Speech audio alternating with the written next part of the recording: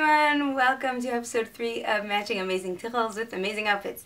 Today is raining outside and it's like mid-fall and um, I want to talk to you about burgundy and brown. So I'm wearing a burgundy shell and a brown dress. Now some people say when you put on a tichel you start getting more respect in the world. Well try putting on a full-length dress. Then you're really going to get respect. Um, but hopefully you can find one like this near you. So let's talk about burgundy and brown. This is my Fresh Outdoors, which is my personal signature. And it's going to go up because um, right now I'm going to put on the Peaceful Mornings kit. Now this Peaceful Mornings, when we made it for you, we chose to bring out the black but it's actually a really, really warm scarf. So we're going to bring out the brown today. And how I've been tying a lot these days is one end shorter. And that's going to work great for tying peaceful mornings if you want a lot of volume. If you want a medium amount of volume, tie your scarf the same um, with both ends, the same length, and then you'll you won't have any extra bulk. But watch how we're going to get some extra bulk because of this really long strip. Basically, it's going to go a little bit pleated and then up, up, up and around. And we have two choices right here. We can just tuck it up the back and make a little bit more volume here.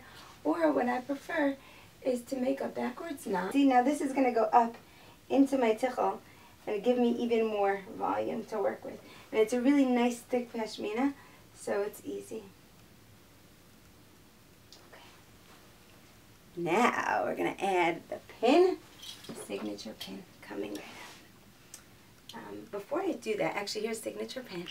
Um, way back from the beginning days of Wrapunzel, before I do that, I want to show you a really neat thing. This is a headband that will be online any minute. And it's really, really flexible and thin and just perfect. And what I would do is put this on either with the pin or without the pin if I wanted to make it extra special. There you go. Okay. And I tuck this under my ends, tuck the little black ends under. Now, at the beginning of this video, I told you that we're going to do outfits. And we're going to talk about burgundy and brown. And that's because burgundy and brown works for everyone. Now, as you know, different colors don't look good on everyone, so how could I say that? So I put together a few burgundy and brown variations that work for different people. So here we have the pashmina. This brown pashmina is so rich. It's so, it's like, it's the classiest, darkest. It's so, it's beautiful. And it goes like this. So let's say this look is a little bit too rustic for you. You want a more classy look. You want to go with this combination of burgundy and brown, which it's really more wine, right? Okay, here are a few other things for you to look at. If you don't have this kit, even if you really want it, you could get it. But if you don't have this kit, you probably have a New York Bright. So the New York Bright we recently got in a dark red, which is so beautiful with the brown. Look at that.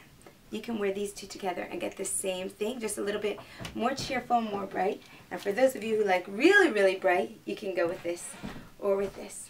And you have that same burgundy and brown. Um, what I've been doing lately is basically getting everything in burgundy. it's a little bit crazy. Um, I just picked this up.